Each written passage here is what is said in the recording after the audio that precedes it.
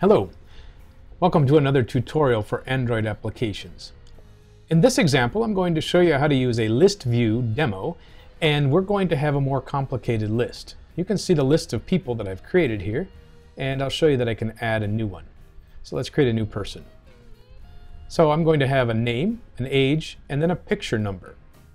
Let's choose add new friend, and you can see that my new friend shows up in here.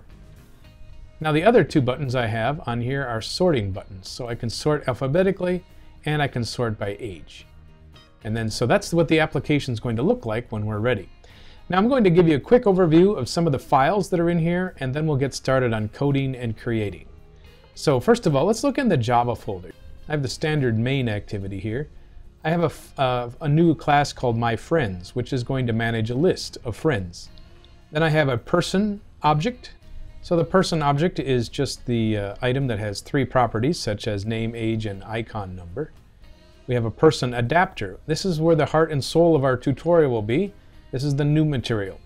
And then further in we have a section called drawable and you can see that I've created a bunch of icons. So this is icon number one, this is two, and so these are just some clip art icons that represent people.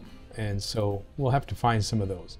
So that's where we're going. And When you're finished, you'll have an ability to create a custom list adapter so you can display a picture and an arrangement of each item in its own little cluster. And so that's what a custom list adapter will do for you. So let's get started in the next video.